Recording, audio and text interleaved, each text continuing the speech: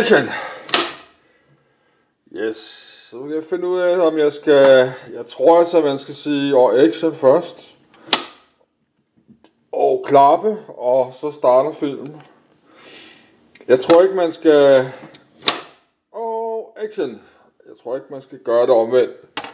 Yes, det må jeg undersøge, og jeg har ikke fået strammet de her skruer endnu.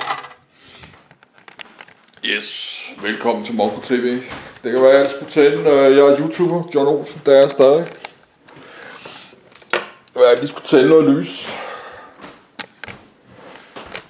Ja, klokken er kvart i 10. Klokken er kvart i 10. Jeg tænkte mig at lige lave en hurtig kort video igen, der hedder, hvad jeg øh, ønsker mig for år 2019. Hvad jeg ønsker mig for 2019? Jeg ønsker mig øh, stadig, at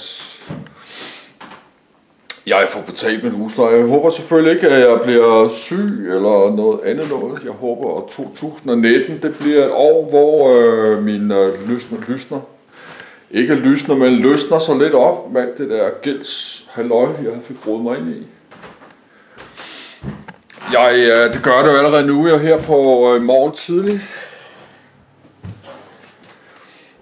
Betaler jeg mine regninger, det betaler jeg så også sidste øh, afdrag på den der bærbare computer. Det gør jeg så, når jeg betaler min afdrag måned efter måned efter måned, så er lige pludselig så er der gået et halvt år. Og så er der gået et helt år, så tiden går. Så lige pludselig er jeg også færdig med de der lån på et eller andet tidspunkt, hvis jeg bliver ved med at betale. Yes, jeg håber, at øh, jeg nyder ikke at gå og betale på det her. Det gør det ikke, fordi det var 70.000 kroner, og jeg betalte 2018. Det er rigtig mange penge. Det er 70.000, jeg kunne have brugt til mig, eller 75.000 kroner. Ja, det var alle de penge, jeg skulle have brugt til at gøre mit liv med lidt mere rart. Jeg skulle måske gå i byen, jeg skulle måske rejse, købe tøj og nye møbler og ting. Yes, det fik jeg ikke gjort. Det gik til opdrag. Jeg har også, også noget mad her. Som er det, det der kotelet halløj. Så jeg da godt gå i gang med at spise også.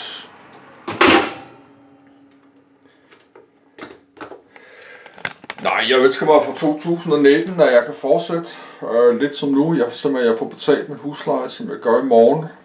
Og jeg får betalt mit øh, afdraglån. Og jeg håber, at øh, på et tidspunkt mit... Øh, den gældsfælde, jeg har siddet i nu snart tre år, den løsner så lidt. At øh, jeg har faktisk råd til at altså, leve lidt normalt igen. Det burde jeg have fra 1. marts, fordi jeg har 1300 kroner ekstra fra 1. marts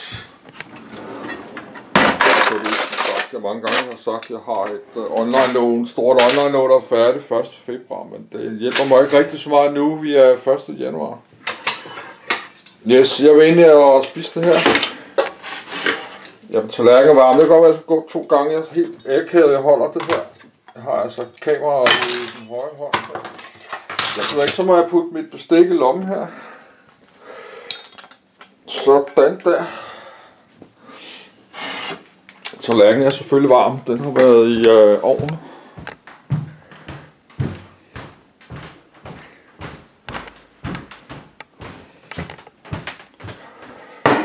Nej, jeg håber selvfølgelig, at jeg kommer ud og oplever bare sådan lidt mere, end jeg gør nu, end ingenting. Jeg, øh, I år har jeg slet ikke været, øh, jeg har slet ikke engang været på stranden, jeg har ikke været nogen som helst steder. Ja, det har jo så også noget at gøre med vejret, det har været så varmt. Øh, 30 grader hver dag i et halvt år. Så jeg har gået og kogt i den lejlighed her. Øh, jeg har ikke sådan specielt lyst til at tage på stranden og ligge i solen, når der er 40 grader varme i solen. Det har jeg ikke sådan specielt meget lyst til.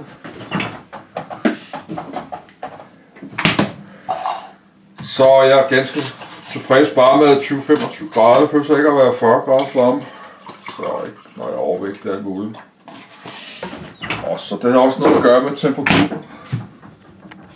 Ja, jeg gider ikke at ligge og koge øh, på en strand i banesol i øh, 40 grader varme. Det gider jeg simpelthen ikke. Ikke nu.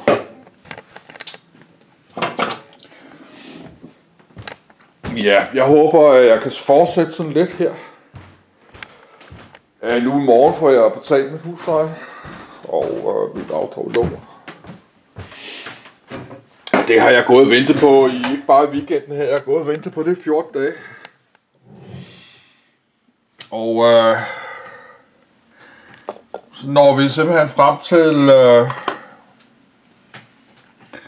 til torsdag den 31. oktober på det tidspunkt. Og kan vi se kryds igen her, så er det fredag næste mål, altså fredag den 1. Yes, fredag den 1. februar, der har jeg 550 ekstra. Men øh, der har jeg så også på en mærkelig måde, jeg ved ikke hvorfor, men jeg har altså et bredbåndsregning igen. Jeg har lige betalt et bredbåndsregning 880 kroner eller sådan noget her i fredags, men nu har jeg altså ikke til bredbåndsregning allerede nu, her den 31. Øh, det er fredag den 31. skal jeg betale bredbånd en gang til. Og det forstår jeg ikke, jeg har lige betalt nu. Men det må måske noget at gøre med, at de har rykket øh, regninger et eller andet. Jeg ved det ikke, jeg prøver ikke. Det er også svært, at jeg skulle ringe og høre. Hvorfor jeg skal betale bredbåndsregning to måneder i træk. Næsten 900 kroner. Det synes jeg er lidt mærkeligt. Ja, men det skal jeg så, men jeg har så ikke forsikringer.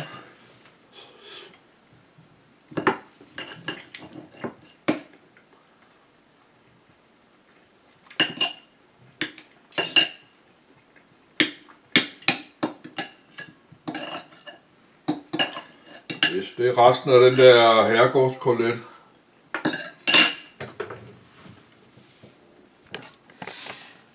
Nej, det gør jeg jo, jeg, når jeg har haft det råd med alle mine penge her.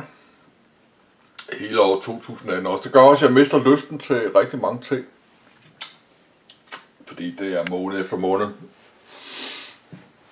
Det er hele tiden, yes. Men det er jo heller ikke meningen, at den her video skal være måtte så lang. Yes, jeg ønsker mig for 2019, at, at jeg kan komme igennem hver måned. Jeg får betalt min husleje, jeg får betalt mit, øh,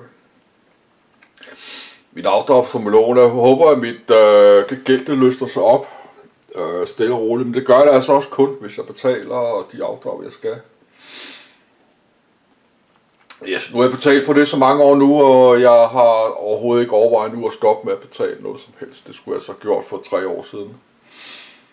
Nej, der har ikke. Men ved du hvad, jeg tror bare, yes, jeg tror bare, jeg vil spise det her. Og øh, kort.